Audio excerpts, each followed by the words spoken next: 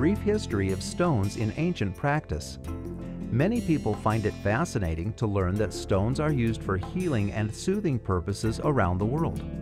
There are several ancient and modern examples of how diverse cultures incorporate the stones in their everyday lives. The healing women of the Mapuche tribes in Chile used black stones in their healing and divination work. In Hawaii, the kahunas use lava stones in their healing treatments as they wrap the stones in a ki, tea, leaf. The lava stone represents healing and protection.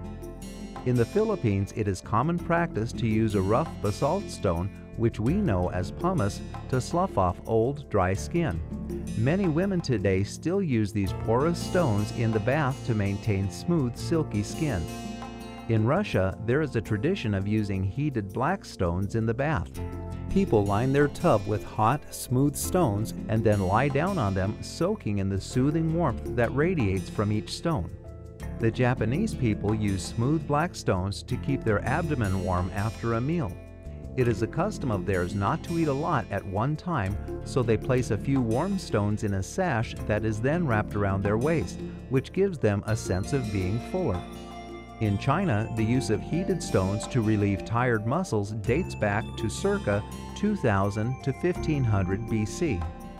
For centuries, Native Americans have used sun-heated stone, called heliotherapy, on tight, achy muscles to bring pain relief.